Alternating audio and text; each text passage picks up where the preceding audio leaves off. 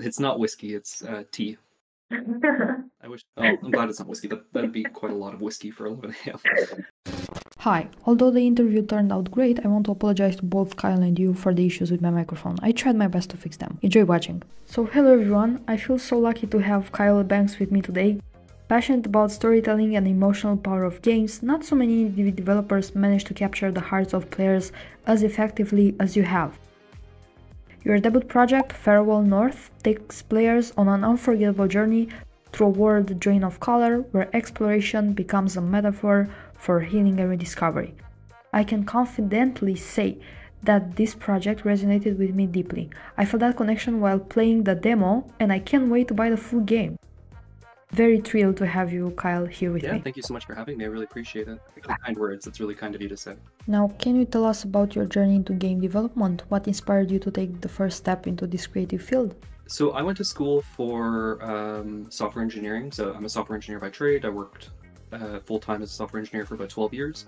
Um, but pretty much as soon as I like my first day of school, learning to write like my first line of code, like a hello world in Java. I went home and I was like messing around playing, making games on like the command line, just little like tic tac toe and stuff like that.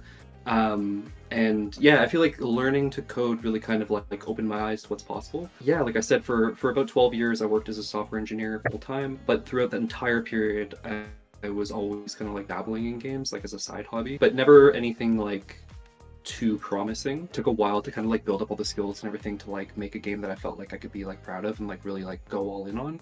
Um, and so that ended up being Farewell North. But even when I started Farewell North, I didn't think that it was going to be like a full game. Like I kept saying to myself, like I'm going to release my, I'm going to release my first game and all that kind of stuff. But I didn't, I don't think like deep down I actually like believed that. I, I figured it was probably going to be another project that ended up on like the, the kind of graveyard of, of game dev projects that I have kind of uh, over that last 12 years. But something about it really clicked and it, it, it just like felt good. And I feel like I had kind of like been at it long enough that I had like the skills to actually like you know make a full game that I could be proud of, like I said. And I started sharing clips on like Twitter and stuff, and it seemed like it really kind of connected with people. So for three years, I was still working full time while working on the game on the side. And around uh, the end of year three, I was like, you know, I'm never gonna finish this if I don't kind of go all in. I was kind of at a position at work where it was like time time for something new anyways. And I was kind of thinking like I couldn't really see myself like I was so tired from working on the game like every morning and every night. Uh, I couldn't see myself like really starting a job and like going uh, going all in on that and like putting my best foot forward. So I was like, you know what, I'm gonna take a year off.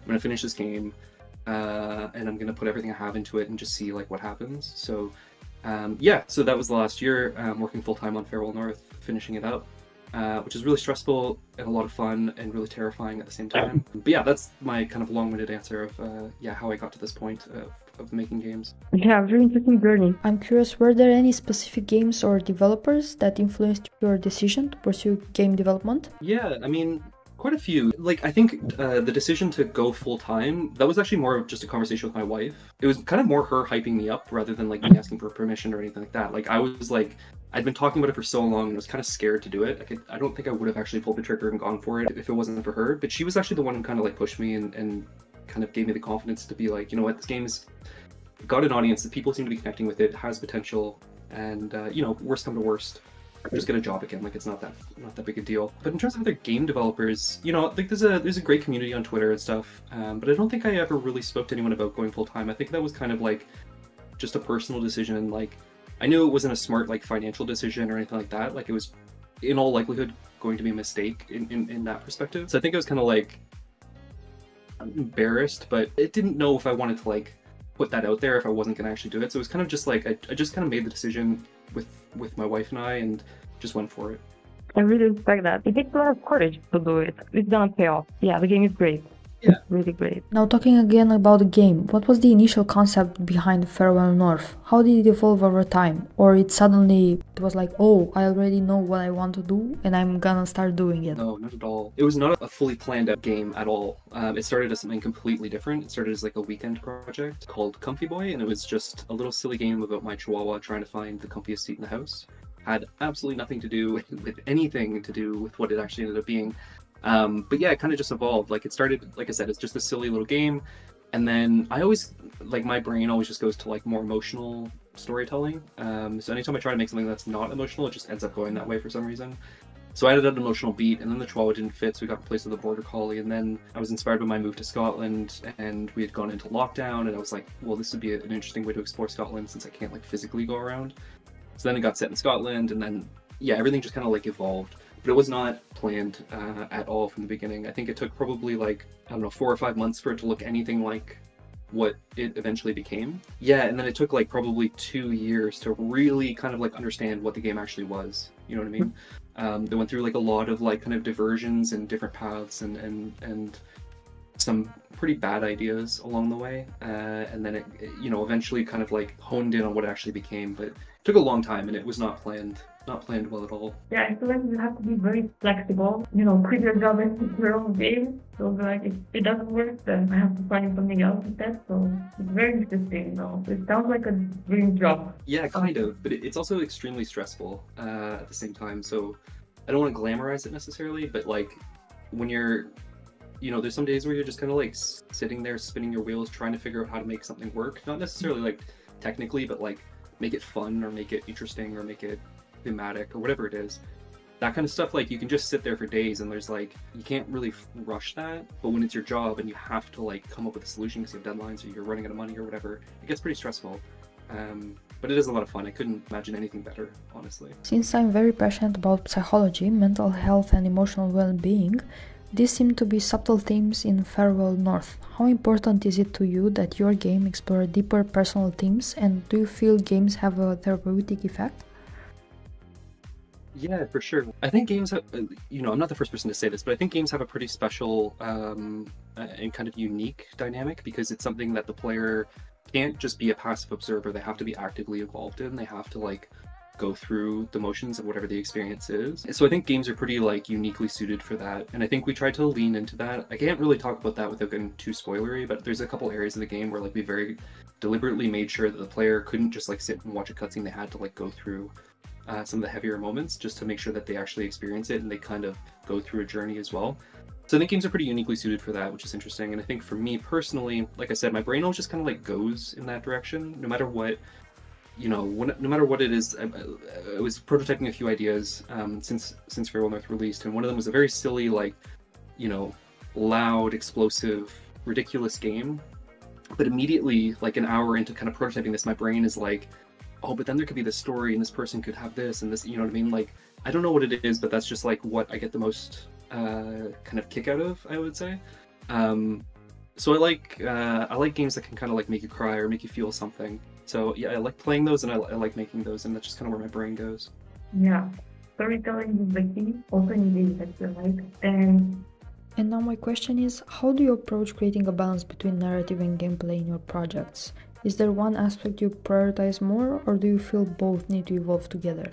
Yeah, that's a really good question. It's actually something I'm kind of struggling with right now when I look at like what what mm-hmm. comes next. I think I prioritize narrative way way higher than gameplay. Um, I enjoy like playing walking sims. Mm-hmm. Uh, that that's not something that like bores me. I, like as long as they can tell a really gripping story, I will. I, I'm 100% on board. And so I don't mind uh, like I said, I don't mind walking sims, and I kind of like veer towards that in terms of what I was creating. I think with Farewell North, because I was making it kind of in public, like on YouTube and on Twitter and all that, I maybe kind of like went more gamey with it than I would have otherwise, just because a lot of the feedback was like, yeah, but what do I actually do? Or like, you know what I mean? Like people kind of asking for a bit more. So I, I added more mechanics and stuff. And I think a lot of people still kind of, a lot of the reviews, I would say, put story and audio as like the number one thing uh, and gameplay was a little bit lower down the list in terms of like it's not the most you know varied but to me that's that's not a fault. Like uh, to me like that's that's the kind of games that i like to play. I like to play games that tell a story first and foremost. Um, and if the mechanics kind of get in the way of that i actually find that that to be a negative. Like i would rather less is more kind of thing. But when i look forward to the next game i do want to kind of get better at actual game design and you know making interesting mechanics and fun gameplay. So that's something I'm trying to balance is like, can I, you know, take what I've kind of like learned in terms of telling an interesting story and add more kind of gaminess to that without kind of taking away from the story. And I think that that would kind of be like the best of both worlds. Um, but I have a lot to learn there. Like I, am definitely more of a, a storyteller rather than like a game designer. I would say. Yeah, I really like your game also because it's about explosions and discovering and there are not a lot of things like that on the market, or at least I didn't find them. Um, I played the first three, which was great, and right after that, I saw you on uh, Thomas Brush's interview, and I got very, very curious about the game, and then I decided to try the demo. I think that was back in spring, in May or something like that. I also gave some feedback, yeah, on Steam, and uh, I did something, and I was like, oh my god, I can't wait to play the game. So I'm still waiting for that day. This university me very interested.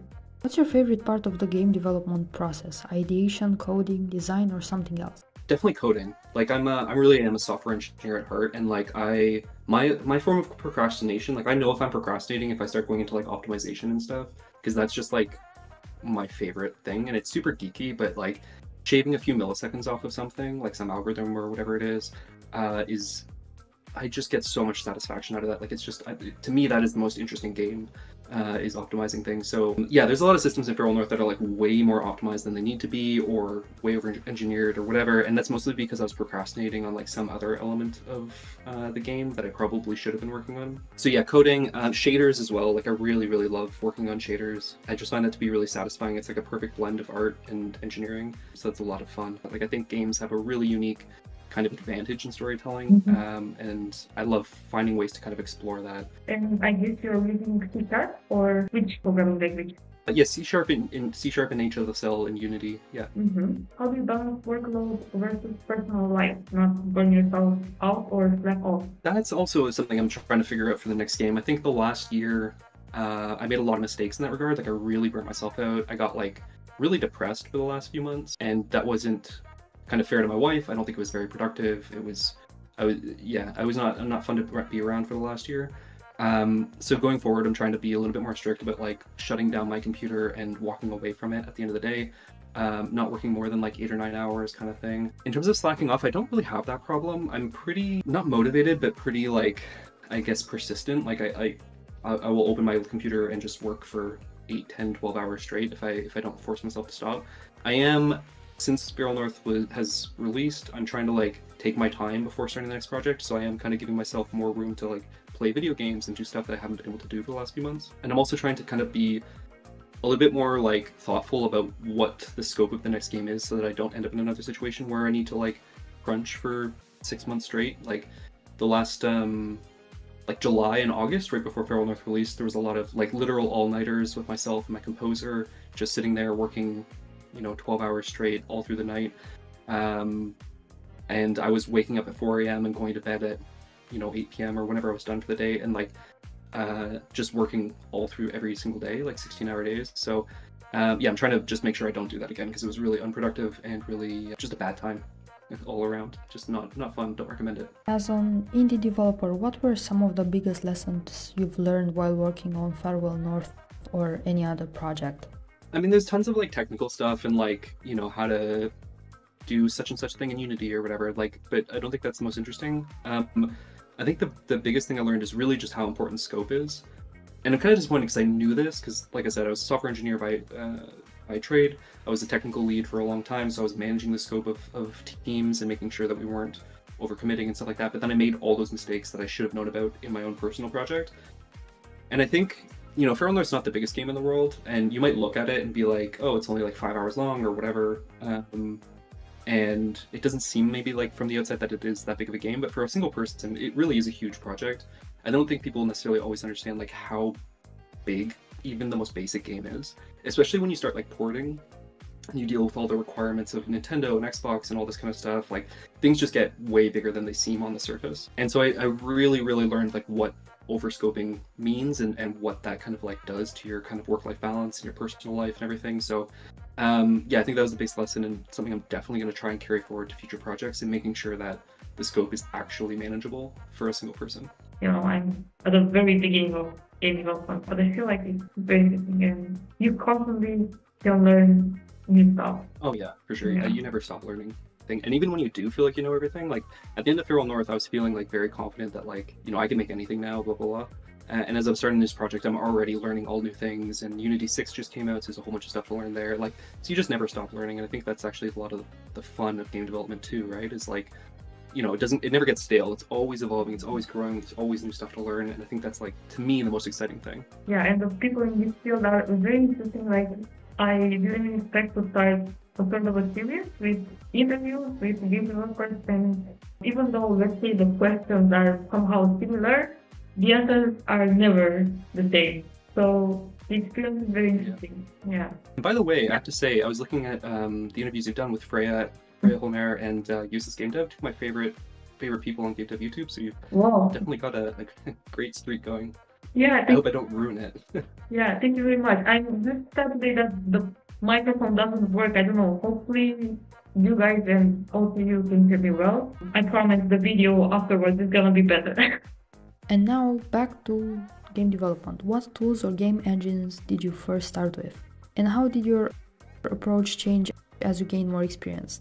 So when I very first started out, uh, I made the classic mistake of like making my own engine, if you could even call it that. It wasn't an engine; it was just like you know basic update loop and stuff like that. And then using like Box 2D for physics and stuff. And then later on, I went to Cocos 2DX, which I don't even know if that's around anymore, but it's like a mobile, um, like a cross-platform Android and iOS game engine. It's more of a framework, I would say, than an engine, but anyways. I used SDL for a while, a whole bunch of different things, basically. Uh, a bunch of JavaScript frameworks and stuff really early on. And then around like, God, must have been like 2014, so about 10 years ago. 2014, 2015, yeah, about 10 years ago, um, I switched to Unity, uh, whatever version it was at the time. It was like Unity 5. It wasn't even the 2020 naming scheme yet. It was Unity 5, I think, or maybe even 4. I think it was 5. Anyways, I switched to that and I've kind of like stayed on Unity ever since. We're so spoiled now with with game engines. I made a video about this a long time and I got a lot of crap for it, but like I really think like if you're if you're choosing between Unity or Unreal, and maybe to a slightly lesser extent Godot, um, but if you're choosing between Unity and Unreal, like you can't go wrong. These these tools are incredible and they're the best tools that have ever existed for making games, at least publicly available. You really can't go wrong. I, I think it's really valuable to just kind of like you know, spend a few hours playing around with each, kind of get a feel for them, figure out which one just kind of like suits your workflow Mhm. or makes sense to you, and then just go all in on that and like learn the tool as much as you can because those engines are deep. They have tons and tons and tons of tools built into them, uh, and you can spend a year. I've been using Unity for ten years, and I still learn new things every single day working in it. So. Um, I think it's. Um, I think there's like kind of like depth of experience is more valuable than the choice of engine itself. Yeah, I just use Unity because I happen to use Unity, and Unreal wasn't uh, free. It wasn't even royalty at the time. Um, otherwise, I may have picked Unreal. Who knows? But I don't really see any reason to change right now. And uh, yeah, so I'm just going full steam ahead with Unity at the moment. Yeah, it's a very popular topic nowadays on YouTube, or it used to be like this for years. I don't know. I'm just new, and I saw a lot of reactions like, "Is Unity better than Unreal or Godot?" I feel like you have to try them out, like each, and then see which one fits you, and then go for it. Yeah, Yeah. exactly. Just go go all in on it and and take the years it's gonna like start the years it's gonna take to actually master the tool. Yeah. And that's gonna be way more valuable than whatever like new fancy thing comes out on the other engine. Many aspiring developers face roadblocks when starting their projects. What advice would you give to someone who's just beginning in game development? just get started. I know this isn't like the the most um, original take, but I think there's a lot of analysis paralysis that goes into like which engine should I use, which language should I use, which framework or whatever. And at the end of the day, none of those things are as important as just getting going. That's really the most important thing.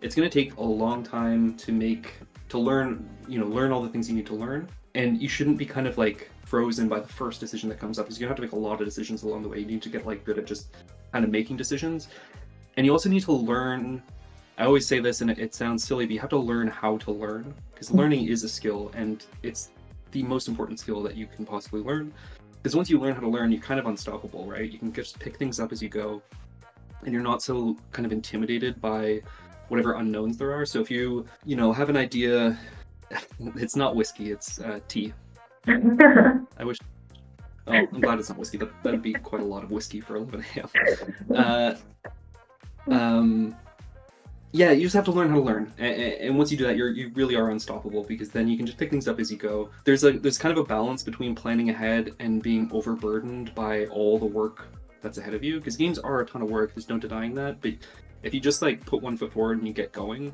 and you kind of like start rolling that snowball, it will build momentum uh, and and that can kind of help you carry through as long as you know how to learn and you can kind of like figure out any roadblocks that you come across. I think that's really the most important thing. In terms of how to learn how to learn, I don't really have a great answer for that. Um, but I think that's that's kind of you know everyone's got their own personal learning style, whether that's just like watching YouTube videos or signing up for some like learning platform or doing more traditional like academic uh, schooling. Uh, but you need to figure out what works for you, and you just need to learn how to learn. And that'll help you a ton in game development. It'll also help you a ton in life. Uh, honestly, I think. Um, so yeah, that's my, my life advice for you. But yeah, learn how to learn. That's where I am right now in this field. Uh, no game engine's gonna make your game fun or make it interesting or make it, you know what I mean? Unless you're the first game to use like Nanite or something and you're like big tech demo, that's maybe one thing, but that's not really a reliable thing to, to go for. At the end of the day, the engine can't make the game for you and it can't make the game interesting for you, so it's really not what you should be spending all your time thinking about. And now another very popular topic AI. How do you see AI influencing the future of game development, especially in the indie scene?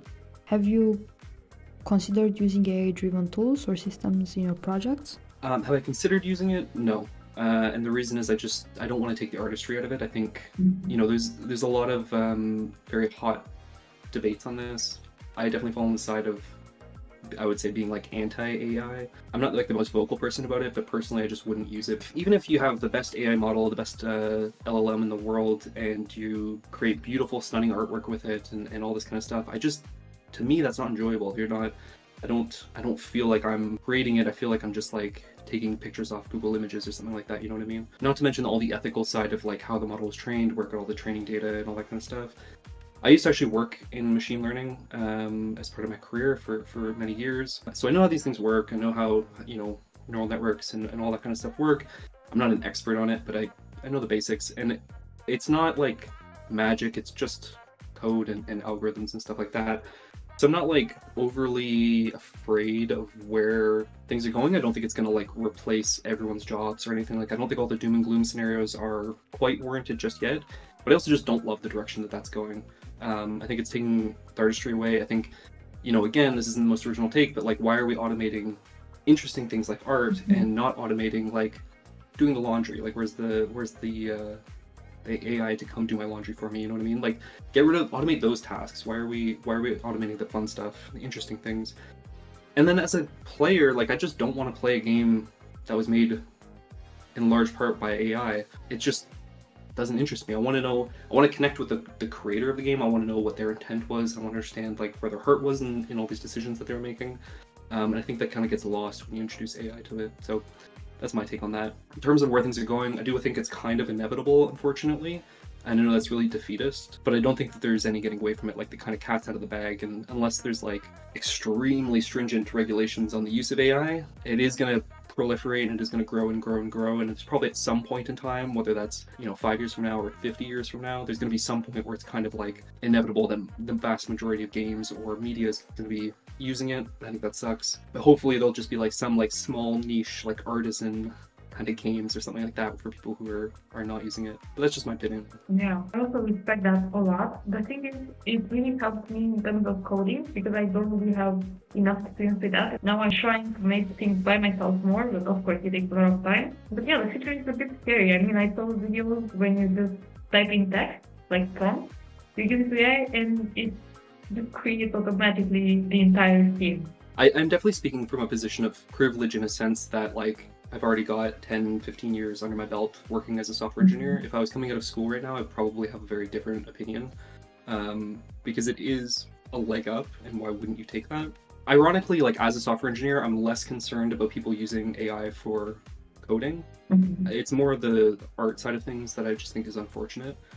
Um, I still think the ethical issue is there regardless. Like, you know, I know that some like I used to write kind of old technical blog posts, and I know some of those are in some of these LLM training sets, and that kind of sucks. But I'm also not really too worried about it because we're all using Stack Overflow anyways. There's not really any difference. I think, yeah, it's more the art side. I just think is kind of unfortunate because it's kind of leading to like there's already a proliferation of like lower quality games, I would say, and that's completely fine because those games all have a right to exist. But then when you add AI on top of that, it's just becomes a bit more like flop, just kind of like being churned out and content for the sake of content. Um, that's that's more where to me I think it's really unfortunate. Um, but it's it's a really complicated topic for sure. Like it's it's not something that's like exactly easy to be binary about. Is what it is. I think, like I said, I think the cat's out of the bag, and I don't think it's going back in. Um, so I think it's probably something we all have to learn to live with, whether we like it or not. And I think that's kind of unfortunate personally, but it is what it is. So I know I said previously that even though the questions are somehow close to each other, the answers are always different. But in terms of AI, also Freya and user game devs are concerned about the art side of things. you need to have. That's why I say like you should kind of learn as you go and, and, and figure things out as you go because you have like a clear vision of like whatever game it is that you're trying to make. If you just sit there and you're like, I need to learn all of these things before I start, that's gonna be overwhelming. And if you don't have a game idea or you don't have like some objective, you're just like wandering the void and you're like, there's there's just so many things you could learn. How do you know which things are actually important? So yeah, having a goal is very very helpful in that and like structuring your learning. Um, so 100% agree with Jason there. So with Jason, are you talking about like communication between kind of team members or is it like communication with the final user like for example like if you're not say you're an engineer and you're not a strong like 2d artist using ai to kind of fill that gap in order to communicate your vision to the players is that what you mean? Because personally i would still prefer to see you know i hate to say this but like lesser art or, or kind of rougher art or whatever it is that's actually handmade rather than ai generated. I just to me like it, it there's more personality and more kind of shines through in that sense. Uh, when you when you use ai there's like this kind of sameness about them. And then again the whole ethical quandary is, is the whole other part of that but just in terms of the end product i still think that ai has a little bit of sameness about it. But that said, like i mean assets are totally cool. I'm, I'm not opposed to using assets so yeah i don't know. It's, it's really complicated like i said. Yeah, what I was thinking about is also the fact that um, I'm, besides very interested in the game, also very interested about the person behind the game. And just the thought that there's no one actually behind it, it's weird and hard to. Yeah. Like I like when I'm playing a game, it's almost like a, a conversation between you and the game's designer, right? And and everything has intent, and every little like light and every little whatever it is has a meaning and has a purpose, and if there's a reason that it's there, I just think that's lost. I think it's really a shame. Also, Oh, so he's talking more about like a, a consultant. That's interesting. I hadn't really thought about using AI in that sense. That's interesting. I think I think you're still left with the ethical issues of where the training data came from. Um, I don't I don't think that there's any like oh well this isn't actually going to the final product so it's not unethical. I still think it's unethical no matter what. If if people's art was used to train the model without their consent, full stop. In my opinion, it's unethical to use that if you put that aside and you assume that there's a model that was created all ethically or whatever, that is an interesting use case uh, of using AI as this kind of starting point. I think that's that could be interesting for sure. Another question Yeah. that just popped into my head is that when you want to launch your first game, do you think it's better to start to start with Steam and then uh, try to publish it on Magazine Play, App Store, so on, or focusing more on the Android part and then switching to uh, Windows? You're saying focusing on mobile versus Windows. Mhm, Kinda, yeah.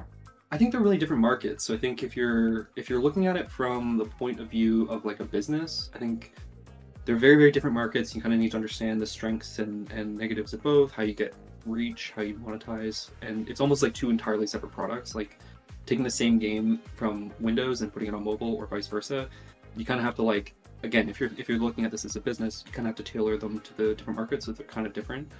Um, in terms of just like learning experience, I think mobile is a perfectly great way to do it because you can find a lot more people who have a phone capable of playing your game probably than a computer, especially if you're younger and when you're in school. Like everyone has a smartphone, but not everyone has like a gaming rig or something like that. Um, so I think it's a great way. It's a great way to kind of like go around. You can show people on your phone anytime and get a lot of feedback really quickly.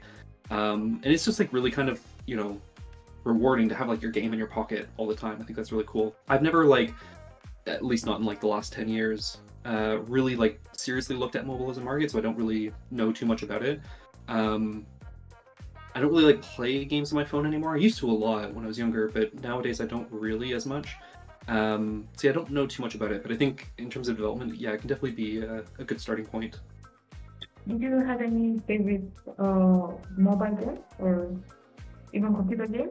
let me see what i have on my phone because i haven't played I haven't played games on my phone in like years i don't even know if i have chess um, yeah, I don't really have. I don't really play games on my phone anymore. Uh, in terms of computer games, yeah, I mean, I love, like I said, I love like Walking Sims, like Vanishing of Ethan Carter, uh, What Remains of Edith Finch, Journey, a lot of that kind of kind of like emotional, heavier uh, walking sim kind of games. Um, one of my favorite games is Hellblade, the, the first Hellblade. I just absolutely adore that game. I think it's really brilliant. Um, I took a lot of inspiration from that, and um, I, I, just absolutely love that game. I'm a huge baby with horror. Like, I cannot watch horror movies. I cannot play horror games. I played The Last of Us, and I barely got through it. Like, it was an absolute nightmare to me. But for some reason, over like the last month, I've been forcing myself to just get over it and play horror games. So I just played Dead Space, which I really enjoyed. Um, and I'm playing Resident Evil 3, which is my first Resident Evil game ever. Um, so I'm trying to get into like horror games because I love horror aesthetic, but I just cannot handle jump scares and stuff. So I'm trying to like grow up a little bit and, and, and deal with that. But yeah, I would say like darker, moodier, emotional games is kind of always my my forte or my my preference. Mm-hmm. Interesting. Are there any upcoming indie games or developers whose work excites or inspires you? Yeah, for sure. Um, Alex Canar Kanaris-Sotiriou anyways, the developer of a game called Mythwrecked, he made a game called Roki, uh, and now he's working on a game called Mythwrecked. Um, it looks brilliant. He's, he's a really great guy. Uh, we've met a couple times, and uh, just just a brilliant guy. And uh, I'm really looking forward to playing that. Uh, Kevin Anderson, he's the developer of a game called Paper Clay. Looks like a lot of fun. It's like a 3D platformer kind of collectathon, uh, but it's just got a ton of personality and plays like this little chicken, and it looks like an absolute blast. And there's like games on I see on Twitter like every day that I'm just like you know, blown away by just really inspired by and, and really look forward to playing them. This game called The Milk Lake, which just looks really, really interesting. Uh, I don't know the developer of that, but uh, it looks great. Oh, some some humble onion. His game already came out. Smushi Come Home. He was uh, he worked with the same publisher as I did, but Smushi Come Home is just you know it's got the most personality of any any game I've ever played. It's just absolutely beautiful. It's super cute and charming, um, and I would I would recommend anyone to play that. I just I don't think you could possibly play that and not be you know, come away feeling like just absolutely giddy and happy. Wow, okay. Another thing to try on. Now, looking beyond Farewell North, do you have any plans or ideas for future projects? Uh, I have started um, prototyping a few things, but like I said, I'm trying to take my time and just make sure I'm kind of like ready to start the next project. So I don't really have anything I can share yet, but it's kind of like going back to a conversation of like narrative versus gameplay. That's really my big conundrum right now. I have a couple ideas that I think are strong, all all I think could potentially be you know viable projects. But it's do I go down the narrative route again, uh, or do I go more of a gamey kind of game? And just before this call, I was kind of prototyping something that's a little bit of a marriage of the two that I think could be interesting. Um, kind of like in a slightly survival horror kind of genre. Um, not full blown horror, but like dark and, and moody and stuff. Um, with some kind of more actiony gameplay, but still having a very heavy story. Um, and I think that could potentially be good, but then it's back to scope and whether that's too big of a project. Uh, so I'm trying to figure that out. Mm-hmm. Very interesting. For me, like I see a game and I suddenly get very interested about the creator as well. And then I just follow like the learning curve and all the games and projects they are working on, and it's very interesting to see, you know, if they also switch they, their preferences over time and try to approach gameplay more than the narrative or, you know. One more comment, Jason says. A super game dev recommendation is one called The Magic Circle. It's like a game about game development. Wow, okay. Very interesting. Oh, I'm looking at the Steam page now. This actually looks really, really funny. The the tagline is, uh, "Can you release a game from the inside?" It's interesting. Like you're like inside a game, making a game. It looks like it's cool. My questions, and I'm very, very happy that we did it. So thank you so much for sharing your journey. Thank you No, thank you for having me. I really appreciate it. It's a pleasure learning more about your creative process and I'm excited to experience more of your work in the future. Jason said no question but love the video. Looking forward to picking up the game. Make sure to do so. You have the link in the description. Download it, buy it, play it right now. Please. I will also do that. I promise I'm gonna do live streams with it. I will. I hope you will. I appreciate it. It's no worries. Yeah. yeah. Awesome. Well, this was a lot of fun. Thanks for having me.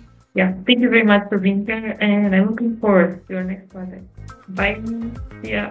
Bye.